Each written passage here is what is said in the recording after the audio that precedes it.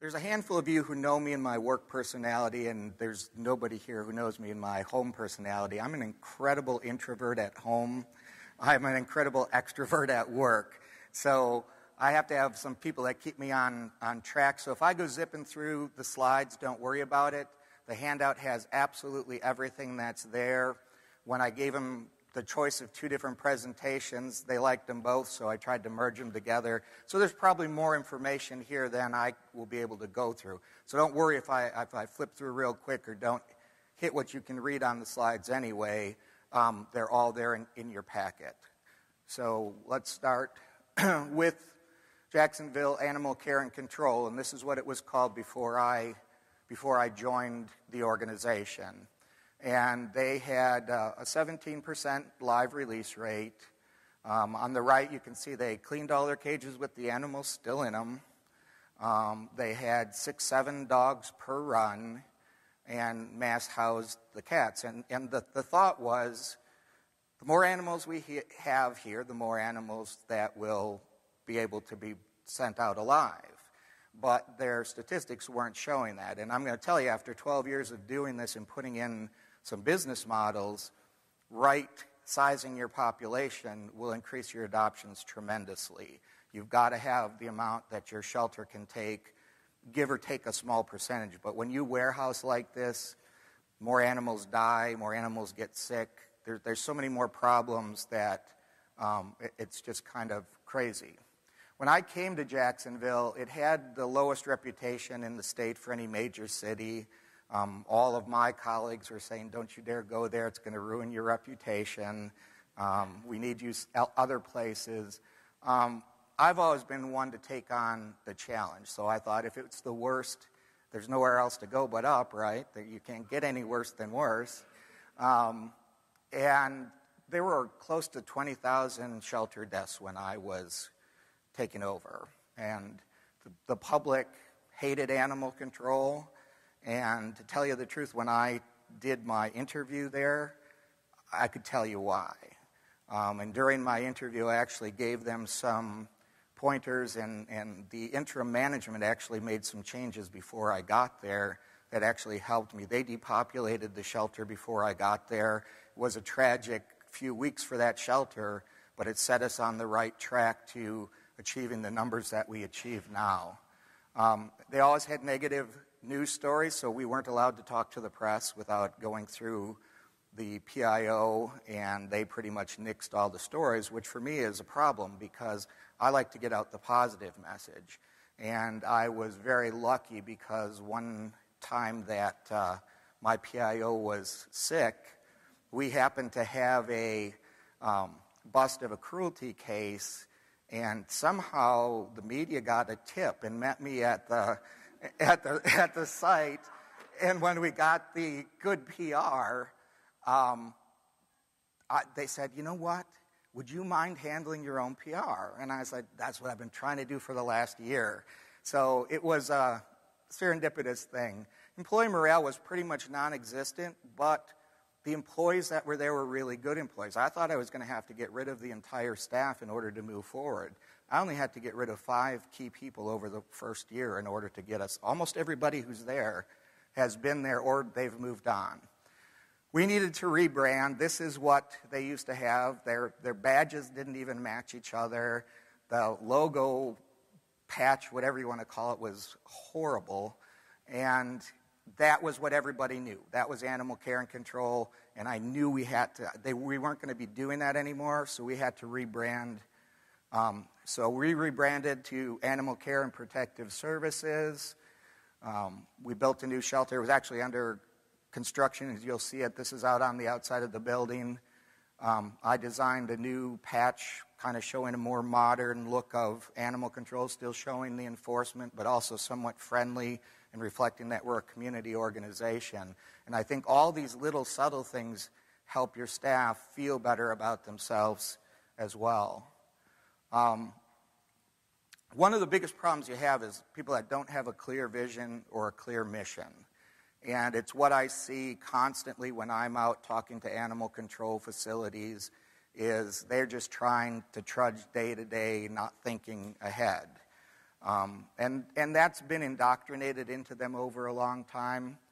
But if you don't know where you're going, you've got no way to lay out a path to get there. And if you're only trying to go day by day, you're never going to improve. Now, the one thing I'm going to say is I know a lot of people always say, geez, we'd love to have you in, in our community. It's not always quite that easy. I got run out of town in my first community while I was agency of the year. So it, it, it's, you got to find the right match, and, and sometimes the upper level people are not ready for change. Jacksonville's been very, very good to me.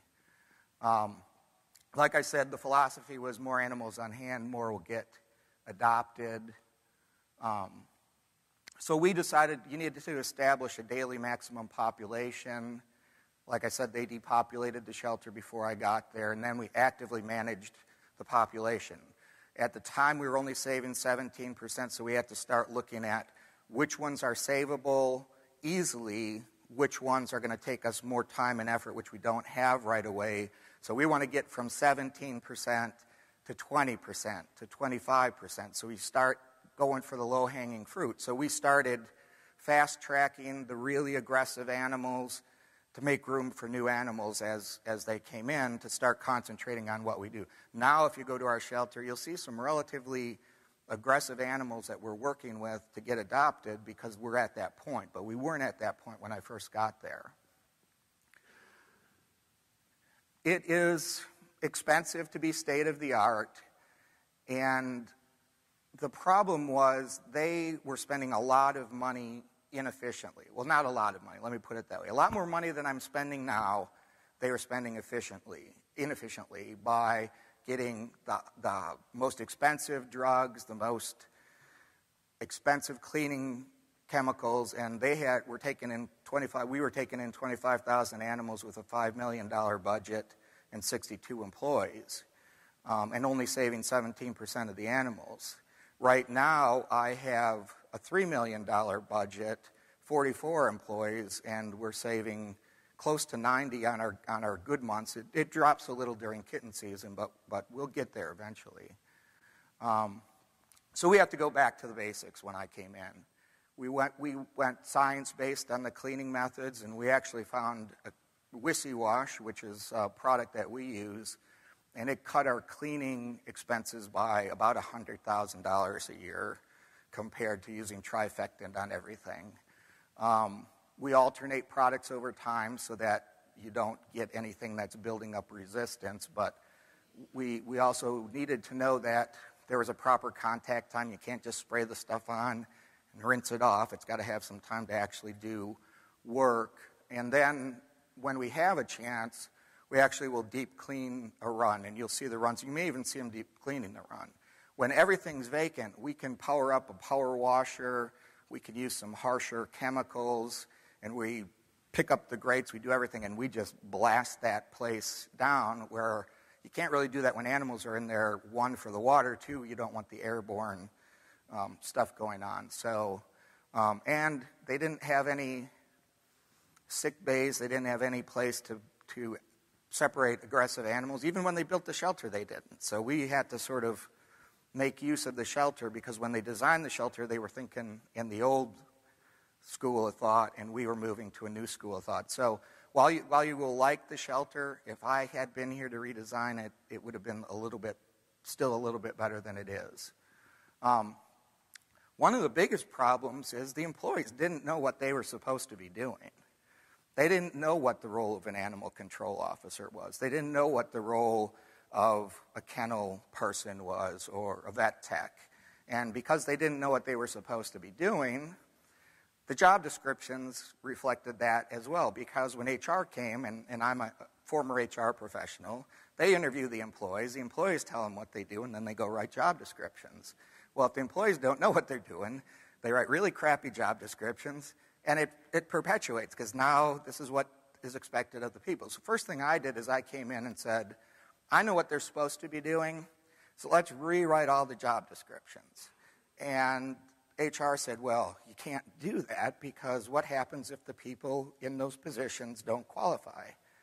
And I said, well, then we'll have to find them a new spot because I'm not going to let that hold us back. And realistically, everybody qualified. We had a couple we had to maybe enhance their skills um, for HR, but being an HR professional, I knew exactly what to tell them. So, but now everybody is, and then they've got a much clearer understanding. The other problem was they didn't have all the people in the right spots. They had a fantastic kennel manager, and guess where she was working? She was the supervisor of animal control. Didn't do a very good job at that, didn't want to do that job. Um, when I told her that she was moving to the kennel, she didn't want to do that job either. But I convinced her that her skill set was right for that and just to trust me. And the, you know, the only other alternative was she'd have to be looking for another job. You know, that's the advantage of being the guy in charge. You can kind of tell them what you want them to do, and they don't always have a lot of choice. Um, and we are civil service, so it's, it, they do have some job protections, but that doesn't mean I can't move them around to do whatever, whatever I want. Um, so that's where I think a lot of the organization did, it, it lacked uh, guidance. So we matched the people up with their skills. We had to go through a lot of new training, and we wrote new job descriptions. Here's the biggest thing, and, and I think you, you heard it from Dr. Farrell, and uh, that's the first time I saw Dr. Farrell's presentation. I really, really like it because it's, it's a business model, and it's the same thing that I'm telling you you need to do in animal control and you need to do in your animal welfare. You have to have a business model. Business models don't mean you don't care for the animals. In fact, I will tell you, our business model means more animals leave alive. But in order to tell what you're doing, in order to tell what you're not doing, you've got to establish measures. You've got to establish processes and track them. My employees, if you talk to them on the tour, will tell you he asks us to track everything. Yes, we don't even know what he's doing. And sometimes they'll ask, they'll say, What am I, why do you want that information? And sometimes I have to say, I don't know. I don't need it right now, but if I need it down the road, I want to have a historic pattern that I can go look at. And if you don't save it now, then I have to only go forward and guess at what I'm doing rather than going backward. And, and that's just, again, expectations, telling them it's going to make their job better, you know, motivating the employees. Um, types of metrics we use now we monitor the average length of stay, daily inventory and population, officer productivity and customer contacts, the live release rate, um, adoptions, transfers, and fosters, the three main ways animals are going out besides feral freedom. Um, adoptions, which are made what day, what hour of the day, to determine, you know, what hours, what days we should be open. Um, euthanasia reasons, and as our number of euthanasias have gone down, our explanations have gotten more and more detailed. Where when I first came, we might have had 10 different descriptions behavior, medical, very, very broad. As we're getting down, now medical probably has 15 or 16 subcategories because I need to know is the skin condition Demodex or is the skin condition sarcoptic mange or is the skin condition an unknown skin condition? Is upper respiratory, is, is it uh, what type of worms. I need to know exactly what is out there. Same thing with behavior. We no longer have behavior as an option. The only thing behavior related is we do SAFER testing, and if they don't meet our standards in SAFER, we will actually use that as, as our reason for euthanasia. Failed, SAFER, or not, I think it's not for adoption, SAFER, something like that. But then that also shows me where, if that becomes a big population, I know where I need to work. Our biggest population of euthanasia in the last few years has been kittens, neonatals, and the, the young ones that are too young for sterilization. So once we measured that and we knew that, we didn't know it was just kittens, but it's actually a, a subgroup. Our community got together because we work in a great coalition, and we opened a nursery. And we have a nursery that, that helps bridge that to get them up to about a thousand animals a year go through that through that nursery. It's run by the Humane Society, and it's been a huge godsend for us. And we've learned, you know, we tried to handle too many neonatals the first year. The mortality rate was high, and we and then yet, Animal Services was putting down an animal that might only be a pound away from surgery. So we started shifting that around, and uh, Denise will be here on Saturday from JHS, and, and I would encourage you to, to, talk to her about that. It's a, it's a really neat program.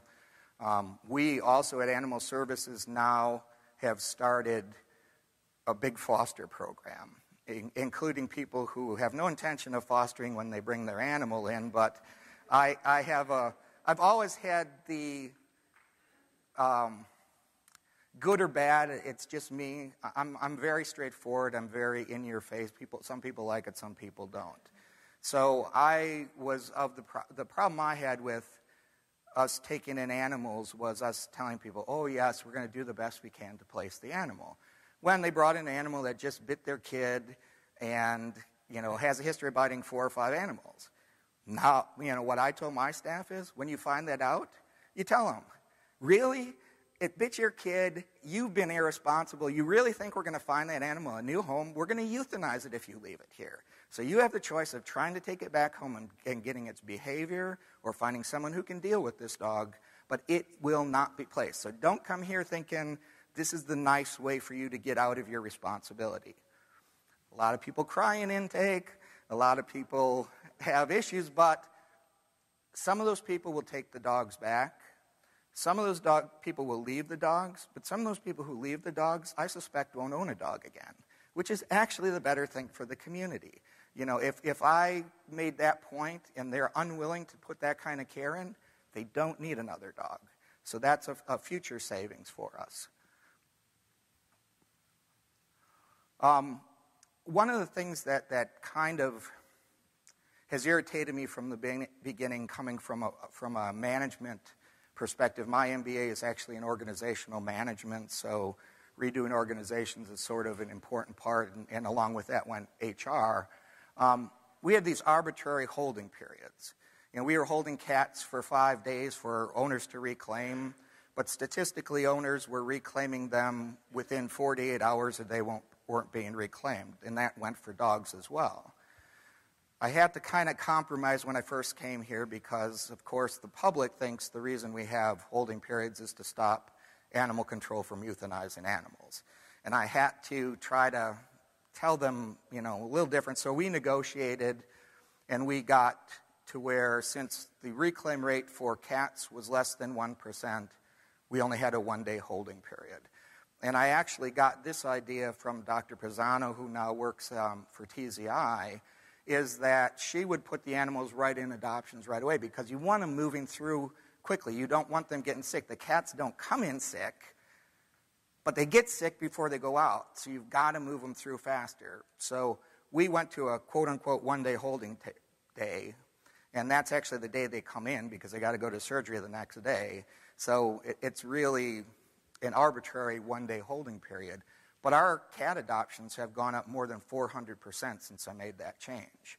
We rarely have um, upper respiratory. Now, that doesn't mean that some of these cats don't go home and break with upper respiratory because they're getting home faster than the upper respiratory catches up with them.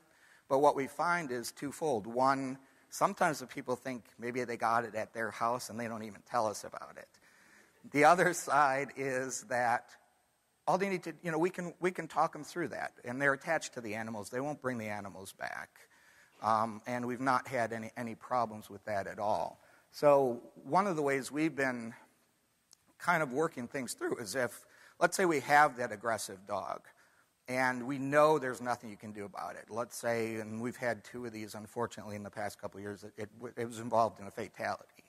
Why do I want to hold that dog for extended periods of time? So, we've sort of narrowed it down. We still hold animals a long time. You'll see animals in, well, not anymore because we have our adoption event, but prior to our adoption event, you would have seen animals that were 30, 45 days in adoption. That's not uncommon.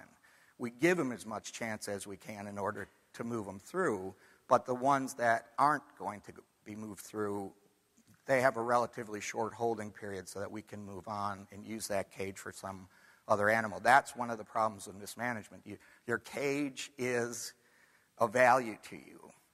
And if you don't move your animals through those cages, that's all kinds of more animals you're not being able to save. So my goal has always been the quicker we get them out, the better. When I first took over in Jacksonville, it was um, a case where the, they had like a 60 or 80 dollar adoption fee and rescues paid half of that to take animals out. And I said, well, why are we charging rescues money to take animals out? Because for every day they sit in the kennel, it costs me $18 to care for them. So if we're charging them $40, it doesn't take very many days of them sitting in the kennel, and I'm losing money at $40. So I convinced the city, who's much more business minded than, than I would have expected, that the thing to do is to move them through. We waive the fees, they go out totally vetted and everything. Um, we do ask them to license the pet, but that license can be then transferred to the next owner just because we know sometimes those owners won't come, come back. And, and they've been real good about it because that's a lot cheaper than paying the $40. But, but as you'll see, hopefully we'll get to that slide, and it's in your packet anyway. We went from 300 animals a year being rescued to over 6,400 animals. And that's how you have to move animals through a public shelter. You don't have the time, you don't have the money to have them sit there for long periods of time because you got to, quote unquote, make money. For every animal that's adopted at $80, you've already sunk 40 you know, 40 times that amount, at least $400 into them, plus their holding period, plus the feed, plus if they get sick. So the faster they get through, what I like to, what I like to say is, what you do in animal control, what you do in government sheltering is you try to stop the bleeding. Realistically, this is also the case for some of your rescues. Um, I recently have been doing some work with TZI and to go down and to see oh, we get $300 an animal and, and we're making all this money. And I say, well, you know, how long are the animals in, in the cages? Well, you know, some of them might be here six months. And how much does it cost you per day to keep that animal? Well, $10. Okay, figure it out. You're losing money. And so reduce that, move them through faster, and you've got to think of the, the bigger picture. And for every day that that stays in that cage, that's another animal you can't rescue from somewhere else. I think we pretty much went through that stuff. So when I first got there, we had si- what I like to call silos. Every section operated independently, and they sometimes worked against each other, um, which was a real problem for me because I think out of anything, I've done probably 10 or 15 different careers in my life. This is the longest career I've had at 12 years. Um, because I get bored and I move on when I get bored. And, and that's why animal welfare sort of, animal control sort of kept me because it's never boring. that's the one thing I could say about it. So, animal control to me, or, or animal sheltering, animal welfare, is probably the most integrated job that I've ever worked in. Even though I can tell you there are other places that will tell you they're integrated. There's nothing that goes on from your field operations to your kennels to your veterinary service to intake that doesn't affect each and every other one of those functions. There's not, you can't pick something out in that group that doesn't affect another, another function. So we had to sort of mandate cross training, um, especially for the animal control officers, because they're not in the shelter very long. You know, their, their office is their vehicle, they have a computer in it, and they move on. So when I hire a new animal control officer, they'll spend a couple months in the kennel and a few weeks in the veterinary area and probably a month in intake. So it's probably six months before they ever see the road. But that investment up front pays huge dividends down the road. Well, you know, oh, the kennel, all they do is pick up poop. Wait till you find out what the kennel really does. It's a whole lot more complicated than that. They're our first line of defense for disease. They're our first triage for the animals. There's all kinds of things. So um, we do that. And, and, on occasion, you know, it, God forbid anybody should mention that in earshot of me, that they have forgotten that they don't just pick up poop because they will be back getting a refresher course in working in the kennels. Um, and, and they usually leave that very humble, and the, the kennel staff usually loves them because they've made up for all the bad things they've said to them that I didn't hear Um, and they know that I respect the kennel work enough to do that. Um, no business plan or model is, is how you're going to fail. Um, so you've got to do something. The, one of the things that also irritates me, and, and, this is my, one of my greatest pet peeves currently, and, and I know some of you are going to be totally on the opposite side of this. Um, the adoption process is designed to protect the animals. We've got to scrutinize the adopters. We've got to make sure that these are going to the best possible home. Problem with that is there really aren't that many bad homes or people coming to you that, that are the bad people. That's probably 5% at the outmost, and you're changing your policy for 95% of the population in order to concentrate on that 5%. You know, you want to know what our adoption process is at Animal Care? We pull up and see if they have any complaints against them in our system. We take their driver's license, scan it into our system. We talk to them about their new dog, take their money, and let the dog go. That's all we do. We, we don't, you know, contracts, who's going to enforce a contract? All it does is create paperwork, and it's, it's an illusion, and it's just a waste of time. Um, questionnaires, how are you going to keep this dog? That can be accomplished while you're taking their money, while you're doing that. That can all be verbal, and if a flag goes up, then, then we discuss that. But in most cases, if there's a problem person, and animal control is going to see them probably more than rescues are, we will eventually catch up with that person. And it's a very rare case that that happens, but maybe since I've been here, we've probably placed close to 80 or 90,000 animals, and we've probably had three that have come back as cruelty cases. Um, two of those were gotten at such a point that they were able to be saved, and one wasn't. So, really, in the grand scheme of things, if I had a tight, tighter adoption process, more animals would have died because I refused to give them to good owners, questioning if they were good owners.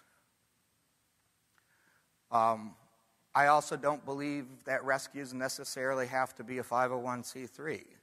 Someone who wants to help one animal that's good enough for me.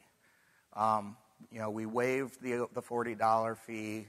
Um, in fact, my, my biggest push in, in the coming year is going to be uh, adoption ambassadors, and I don't know whose term that is, but I know I borrowed it from somebody, where we're basically going to foster these animals out to individuals and allow them to place the animal, allow them to do whatever they want, keep whatever revenue they decide they want to try to make from it, and just you know, move on with not having our staff have to do that.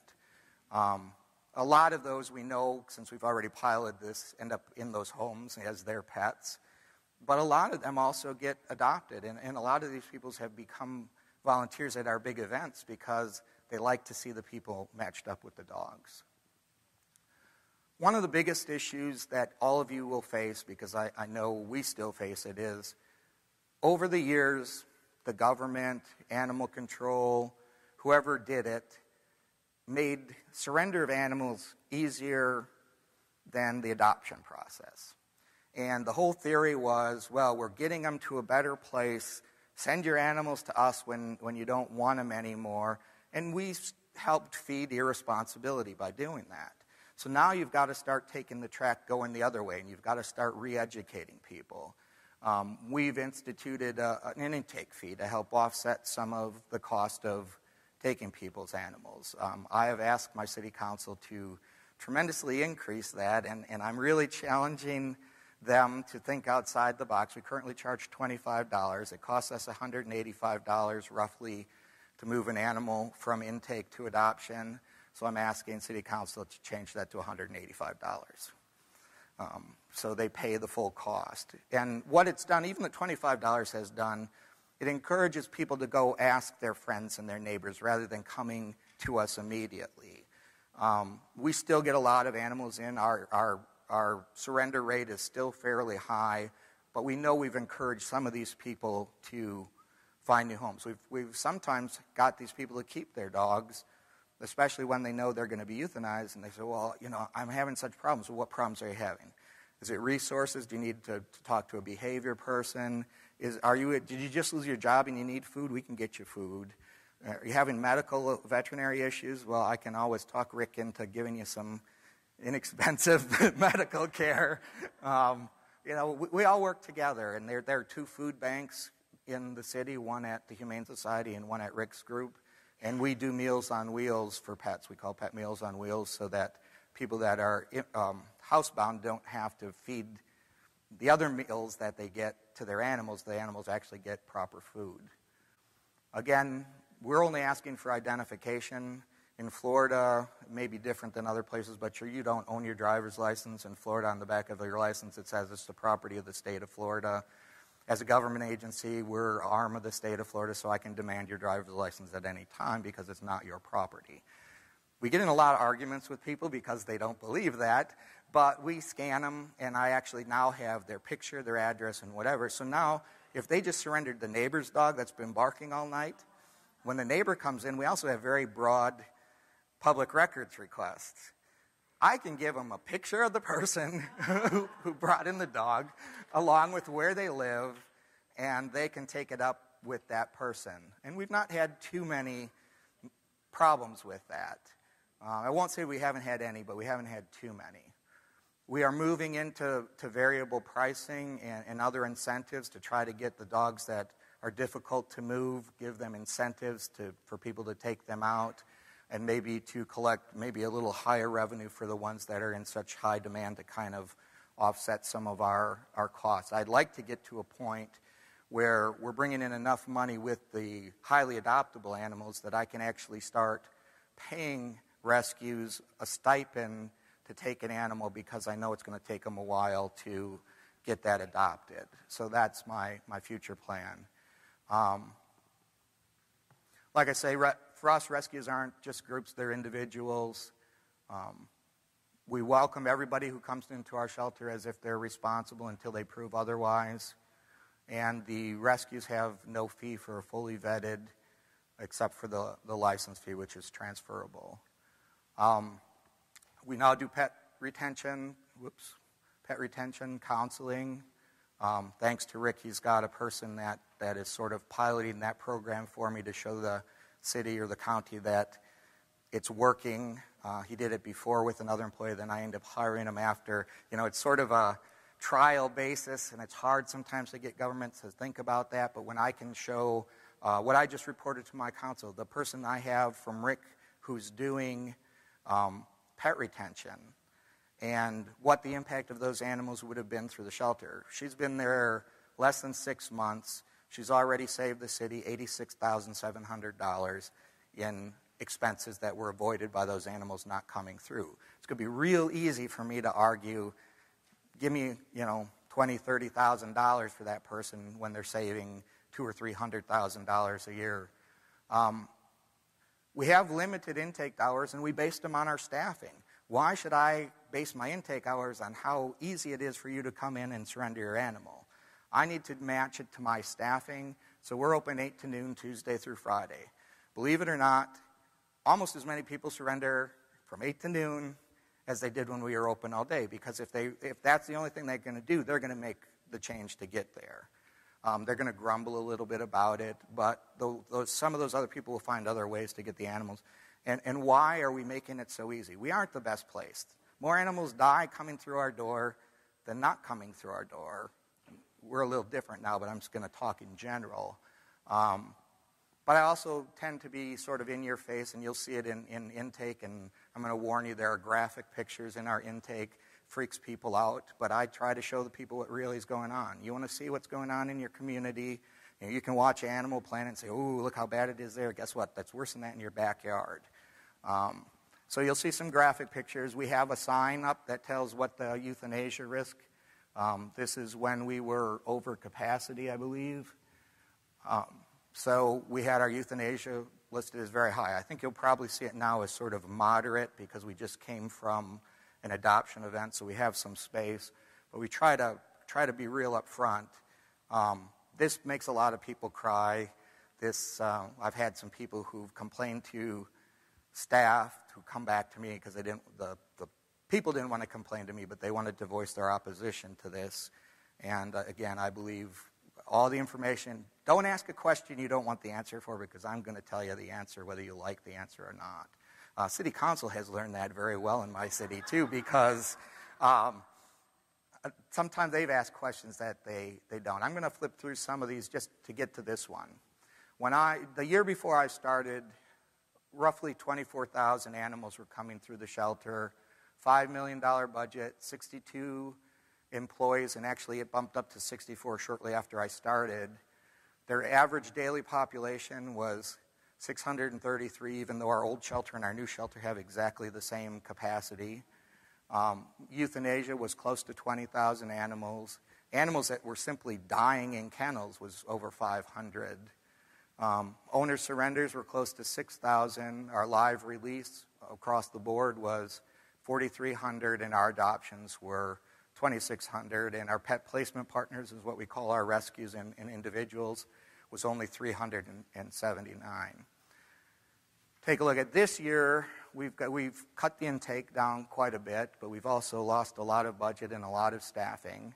We keep an average population that's very close to our capacity. Um, our euthanasia at our shelter alone was only 2150 this year. Um, we had 189 animals die in the shelter, and those were primarily animals that we normally would have euthanized for humane reasons, but we tried something to save them and it didn't work. Or those are neonatals that we've tried to hang on to long enough to get a foster home.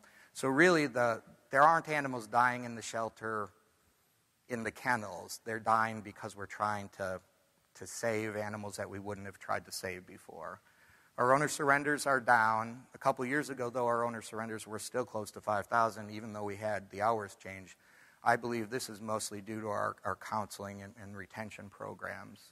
Our live release rate is uh, 82.2%. Our adoptions only went up slightly, but that's one of the things you're going to have to realize. Every location is going to have its maximum amount of animals that can be placed from that location, whether it's a rescue. If you don't get out and do things like these events and get out to different venues or to have rescues, you're never, I'm never going to adopt 10,000 animals from our shelter. One, its location is not ideal, although it's not a bad location. And two, you just physically aren't going to move that many animals through quick enough. So our pet placement partners take on almost 6,000 more animals than they did when I first started.